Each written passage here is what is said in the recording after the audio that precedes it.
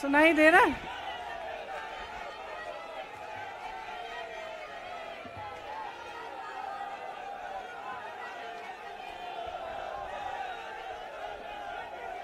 सुनिए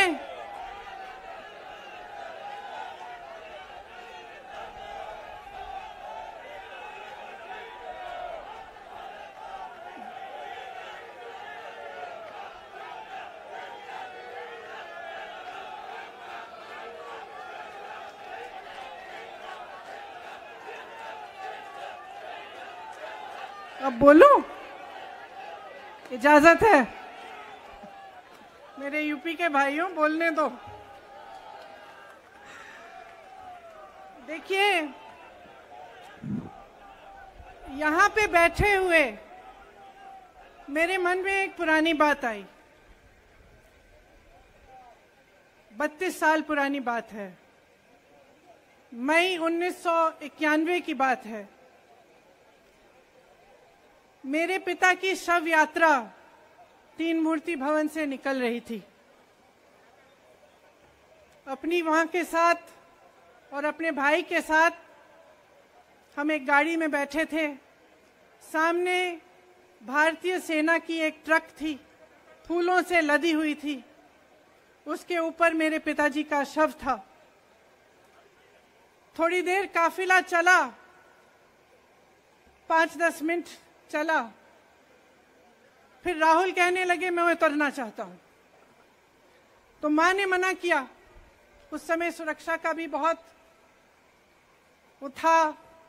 तो माँ ने कहा, नहीं, तुम उतर नहीं सकते। राहुल ने जिद की, नहीं, मैं उतरूँगा। मैंने माँ से कहा, माँ, उतरने दो। राहुल गाड़ी से उतरा। उस सेना की ट्रक के पीछे खड़ा होके चलने लगा। और तीन मूर्ति से लेके कड़ी धूप में अपने पिता के जनाजे के पीछे पीछे पैदल चलते चलते चलते चलते यहाँ पहुँचा। इस जगह से, इस जगह से कुछ 400-500 गज दूर यहाँ पर मेरे शहीद पिता के अंतिम संस्कार मेरे भाई ने किए।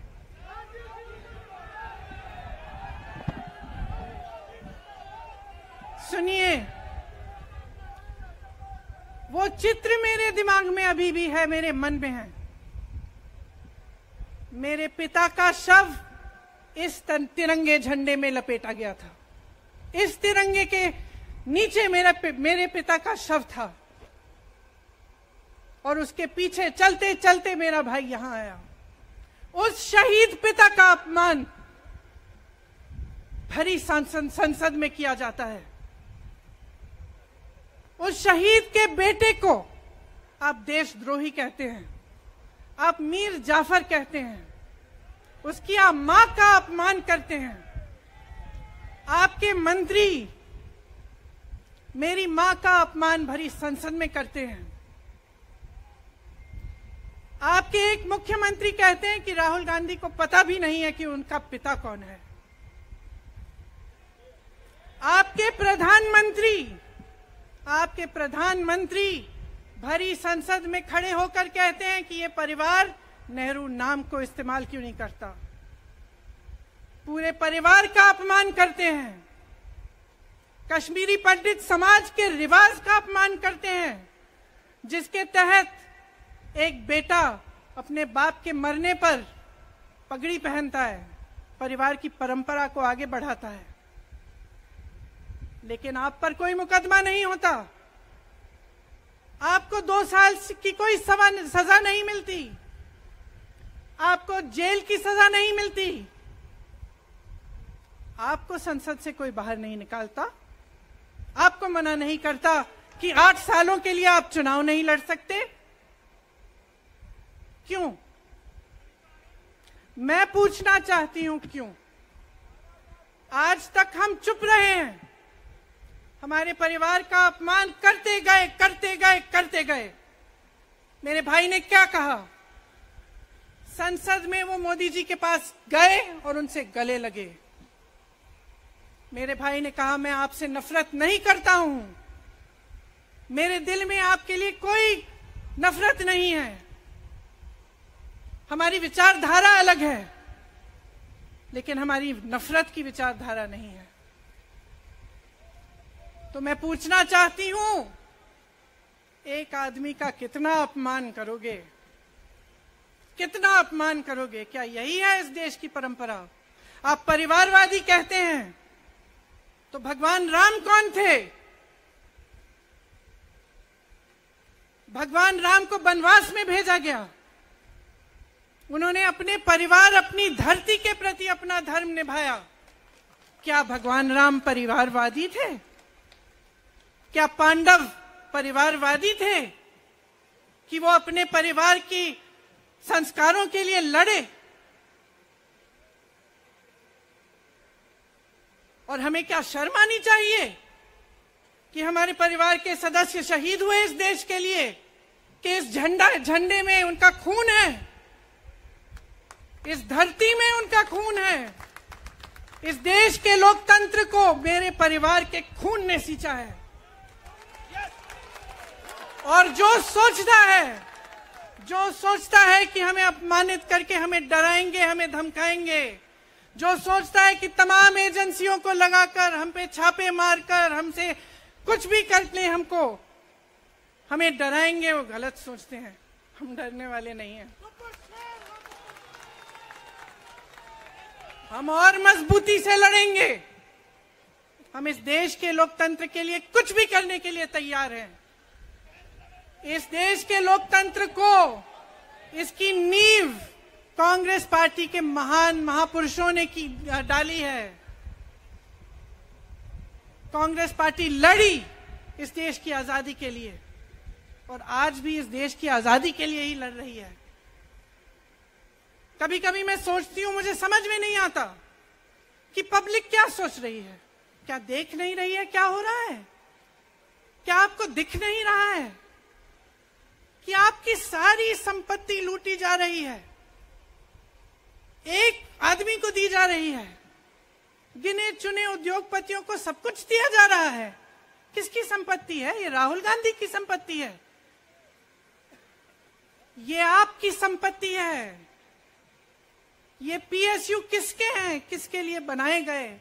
आपके लिए बनाए गए जो ऐसे एक के बाद एक इनको बेचे जा रहे हैं, दिए जा रहे हैं। इसी से तो आपका रोज़गार आता है।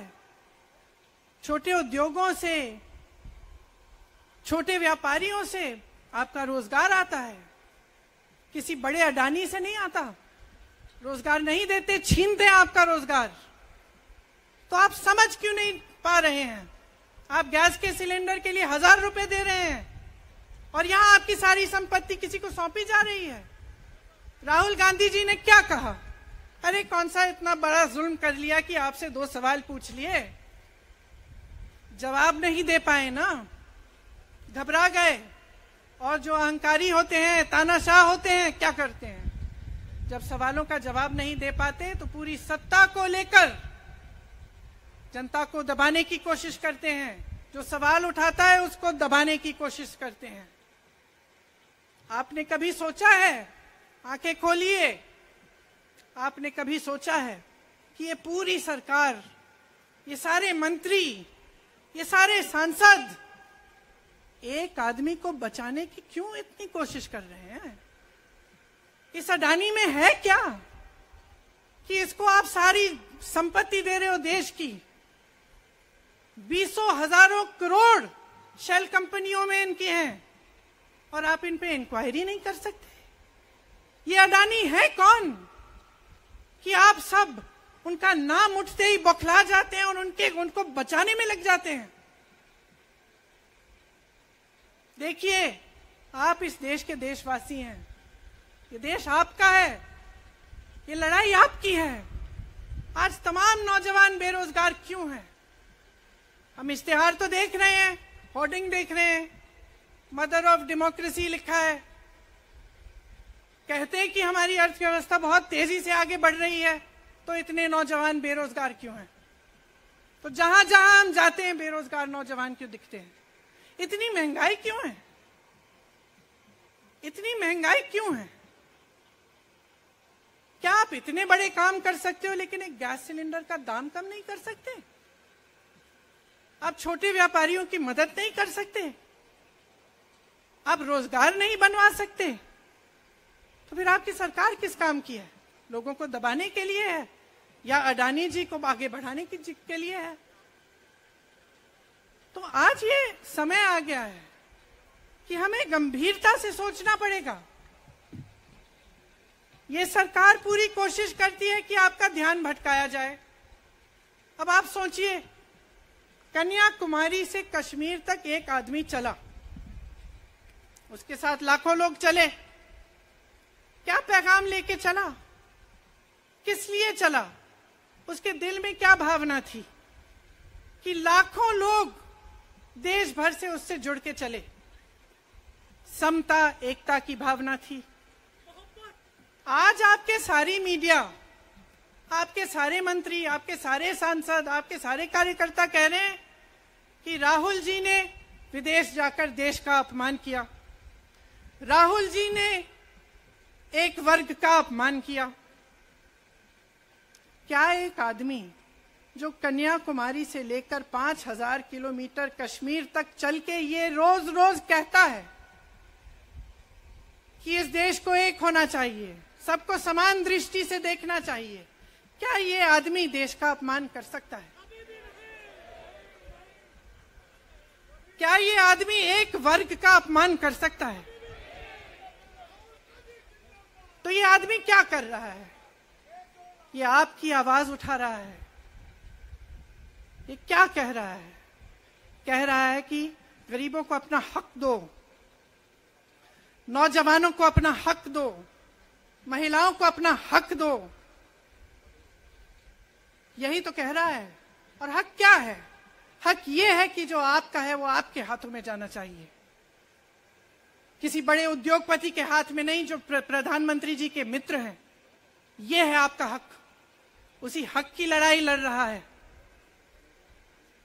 तो आप समझिए ये एक इंसान की बात नहीं है ये एक राहुल गांधी की बात नहीं है ये पूरे देश की बात है। जब हम कहते हैं लोकतंत्र को बचाना है तो हम किस बात की को बचाने की कह रहे हैं? क्या कह रहे हैं हम? लोकतंत्र क्या होता है? खुल के जवाब मांगो। सवाल उठाओ। यही तो लोकतंत्र है कि आपको कोई आपत्ति है, कोई समस्या है, आप किसी के पास जाकर अपना हक मांग सकते हैं। आप कह सकते हैं, भाई, हमारे लिए ये क्यों नहीं किया? इतनी महँगाई क्यों है? हमारे लिए रोज़गार क्यों नहीं बनाए?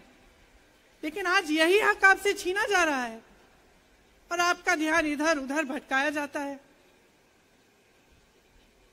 और इतनी चीज़ों को फैलाया जाता है जो सच नहीं है, झूठों को फैलाया जाता है। आप सोचिए, राहुल गांधी दुनिया के सबसे दो, सबसे बड़े जो शिक्षा के संस्थान है, वहाँ से पढ़ के आए हैं। हार्वर्ड और कैम्ब्रिज की उनकी डिग्री है। कैम्ब्रिज से उन्होंने इकोनॉमिक्स में मास्टर्स डिग्री, एम डिग्री उनको मिली। आप उसको पप्पू बनाते हैं। पूरे देश भर में आपकी सहायता के साथ मेरे मीडिया के दोस्तों डिग्री आपने देखी नहीं, सच्चाई आपने देखा नहीं, उनको पप्पू बना दिया। फिर पता चला कि ये पप्पू तो यात्रा में निकल आया। और पता चला कि ये तो पप्पू है ही नहीं। इसके साथ तो लाखों लोग चल रहे हैं। ये ईमानदार भी है। ये सब बातों को समझता भी है। ये जनता के बीच जा रहा है। जनता की समस्याओं को सुन रहा है और जनता इसके साथ चली जा रही है। तो घबरा गए। घबरा गए कि राहुल गांधी ने संसद में वो सवाल उठाए जिनका उसके, उनके पास जवाब नहीं है।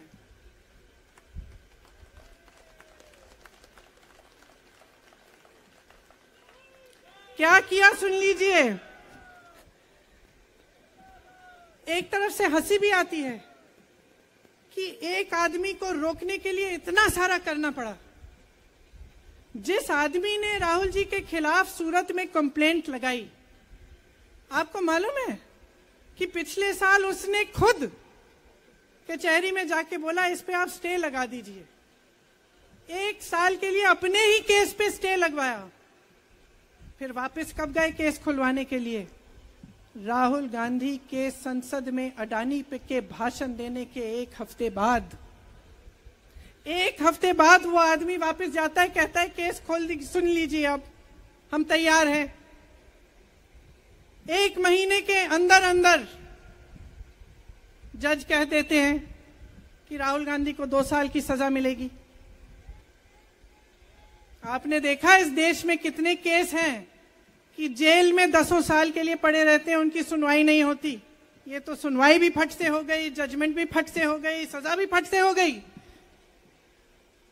और आपने कह दिया अगले दिन कि आठ सालों के लिए ये चुनाव नहीं लड़ सकते। संसद से बाहर कर देंगे इनको। वाह वाह। वाह वाह। वाह वाह। बहुत धैर्य है आप में। अरे, कायर हैं। कायर है इस देश का प्रधानमंत्री। लगा दो केस मुझ पर। लगा दो केस मुझ पर। जेल ले जाओ मुझे भी। लेकिन सच्चाई ये है कि इस देश का प्रधानमंत्री कायर है।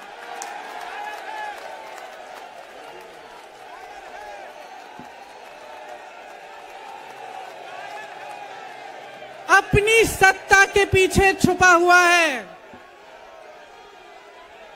अहंकारी है। और इस देश की बहुत पुरानी परंपरा है। इस देश की बहुत पर पुरानी परंपरा है। हिंदू धर्म की पुरानी परंपरा है कि अहंकारी राजा को जनता जवाब देती है। और इस देश की बहुत पुरानी परंपरा है कि अहंकारी राजा को ये देश पहचानता है। मेरे परिवार ने मुझे एक चीज़ सिखाई है कि ये देश दिल से बोलता है और दिल से सुनता है। ये देश सच्चाई को पहचानता है। और मैं जानती हूँ कि आज वो दिन है जब से सारा कुछ बदलने लगेगा।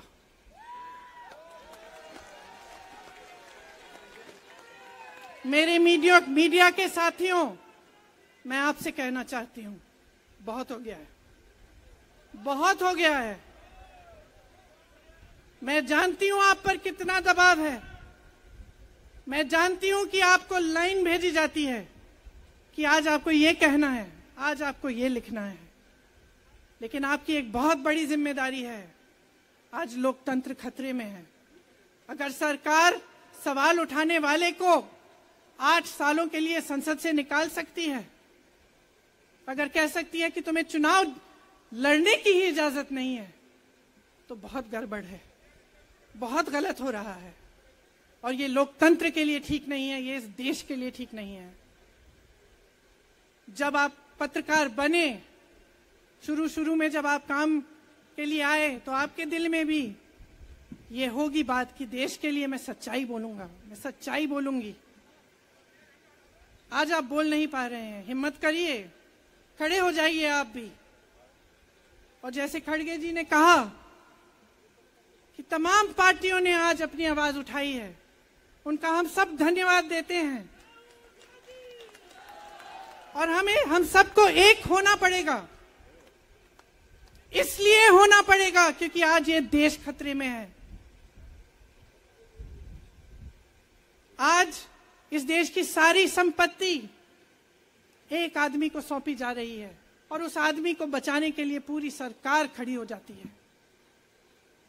बहुत गलत हो रहा है। अगर आज मेरे भाइयों और बहनों आप इसको पहचान नहीं पाएँगे तो इस देश देश को बहुत खतरे में डाल देंगे। इसीलिए यहाँ खड़े हुए महात्मा गांधी जी की समाधि के कुछ ही गज दूर खड़े हुए।